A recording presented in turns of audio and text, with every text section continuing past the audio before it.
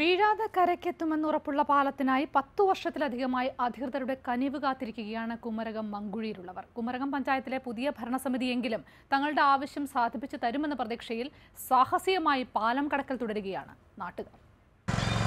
കുമരകം മങ്കുഴി പ്രദേശവാസികൾക്ക് ഭാഗ്യമുണ്ടോ എന്നറിയാൻ ലോട്ടറി എടുത്തു നോക്കേണ്ട. ഇതാ ഈ കാണുന്ന പാലത്തിലൂടെ ഒന്ന് അക്കര കടന്നാൽ മതി. വീണില്ലെങ്കിൽ ഭാഗ്യമുള്ളവരാണ്. പാലം എന്നൊക്കെ പറഞ്ഞ് സങ്കീർണമാക്കുന്നില്ല. രണ്ട് കാലുകൾ ഒരേ സമയം ഒന്നിച്ചു വെക്കാൻ ഇടമില്ലാത്ത രണ്ട് ഇരുമ്പ് പലകൾ കൂട്ടി ഉണ്ടാക്കിയ ഒരു തട്ടിക്കൂട്ട് സെറ്റപ്പ് ഇരുമ്പാവട്ടെ ദ്രവിച്ചുകൊണ്ടേയിരിക്കുന്നു. മഴയുള്ള വൈകുന്നേരമാണ് അവിടെ എത്തുക. ക്യാമറ കണ്ടതോടെ പാലം കടക്കാൻ ആളുകൾക്ക് ചെറിയ മടി. എങ്ങാനും വീണാൽ അത് ലോകം കണ്ടാലോ? ഒടുക്കം സ്ഥിരമായ സ്കൂളിലും കടയിലുമൊക്കെ പോകുമ്പോൾ പാലത്തിൽ നിന്ന് വീഴുന്ന ജെയിനിനോടും അലനോടും ആ സ്ഥിരം വീഴ്ചകൾ ഒന്ന് ആവിഷ്കരിക്കാൻ പറഞ്ഞു. സംഭവം പറയുമ്പോൾ തമാശയൊക്കെ ആണെങ്കിലും മങ്കുഴി നിവാസികൾ സ്ഥിരമായി അനുഭവിക്കുന്ന ദുരിതമാണിത്. രണ്ട് പ്രാവശ്യം വീണിട്ടുണ്ട്.